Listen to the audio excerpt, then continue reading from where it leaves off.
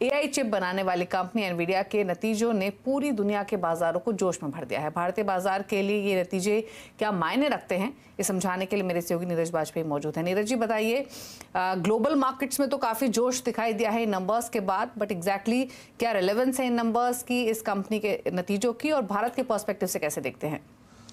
देखिए एनवीडिया के जो फोर्थ क्वार्टर के रिजल्ट्स आए, वो बहुत ही शानदार थे। जितने भी एक्सपेक्टेशंस थे मार्केट के, सबको बीट करते हुए नंबर कंपनी ने पेश किए और खुद का मार्केट कैप 20 लाख करोड़ से ज़्यादा का बढ़ के आया और पूरी दुनिया के बाज़ारों में एक तरीके से नई दिशा दिखी।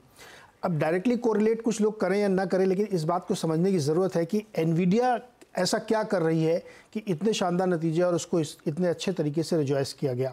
तो यहाँ समझने वाली बात यह कि ए, पहले तो ये समझ लेते कि एनवीडिया का काम क्या करती है। दो काम बेसिकली करते हैं। ए आई एनेबल्ड चिप बनाते हैं और एन आई एनेबल्ड के लिए प्रोसेसर्स बनाते हैं जिसमें बहुत हैवी ड्यूटी प्रोसेसिंग होती है।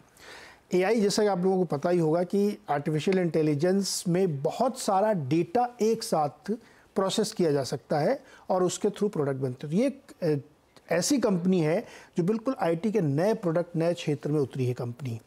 इसीलिए वहाँ जितनी भी इस तरह की कंपनियाँ हैं, उनमें भी आपको जोश देखने को मिलेगा। तो गेमिंग इंडस्ट्री बहुत हैवी ड्यूटी प्रोसेसर यूज़ करते हैं, उसमें इनके चिप लगते हैं प्रोसेसर्स लगते हैं।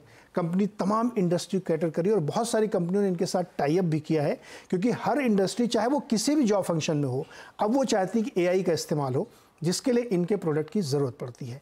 तो ये एनविडिया का रेलिवेंस है और यही इस समय आईटी का रेलिवेंस है। अब इसको भारत की कंपनियों या भारत की आईटी से कैसे जोड़े? भारत की IT companies basically service company है, यानी प्रोडक्ट सर्विसिंग में है। उसमें इनको अपने आप को आई ए आई से एनेबल करना है, जिससे कि जहाँ जहाँ इनकी सर्विसेज़ हैं, वहाँ जो इस्तेमाल हो रहा है, उसको ये सर्विस कर पाएँ। तो भारत की बहुत सारी कंपनियाँ लगातार इससे जुड़ने की कोशिश कर रही हैं, अपने यहाँ ट्रेनिंग करा रही हैं ए आई से रिलेटेड प्रोग्राम्स में जुड़ रही हैं। तकरीबन सारी बड़ी कंपनी ए आई एनेबल्ड होने की कोशिश में लगी, लेकिन इसमें वक्त लगेगा, क्योंकि गैप है बीच में, और उसकी वजह से जो पुरानी लेगेसी है, वो चेंज होती दिख रही है।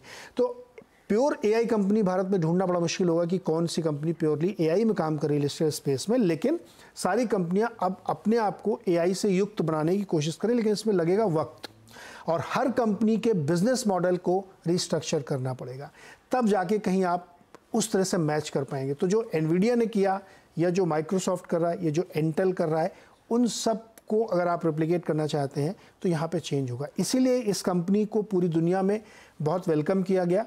और सारे दुनिया की जो बड़ी आईटी कंपनीज़ हैं या जो बड़ी प्रोडक्ट कंपनीज़ हैं, वो इसका इस्तेमाल कर रही हैं। तो भारतीय कंपनियाँ भी इससे जुड़ने की कोशिश करें, लेकिन अभी थोड़ा वक्त लगेगा। और जब ये एक साथ सिंक में आएँगी, तब आप देखेंगे कि इंडियन आईटी इंडस्ट्री बहुत तेज़ी से ग्रो करेगी, लेकिन अभी उसमें थोड़ा वक्त है।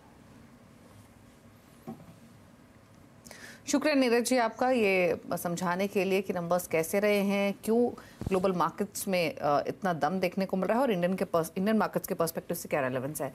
रुक रहे इसी के साथ एक ब्रेक के लिए ब्रेक के उस पर कुछ और खबरें लेकर आएँगे, साथ लेकर आएँगे क्लैड नंबर वन का अपडेट चल वापस आते हैं।